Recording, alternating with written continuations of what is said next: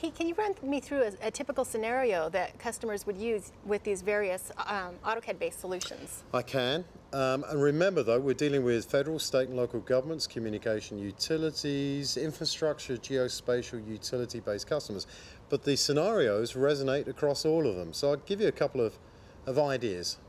Um, somebody, will, an organization will gather information, and that information may come from multiple silos of data.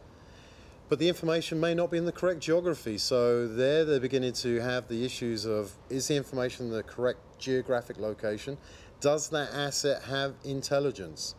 Does that asset locate and have a relationship with another asset? Uh, is this information stored in silos of information around my organization? And this is the strengths of our solutions. They can resolve those issues very, very quickly get the information, bring it to the screen. Let me make critical decisions based upon the information you've given me, but don't just give me terrible information, give me some structure.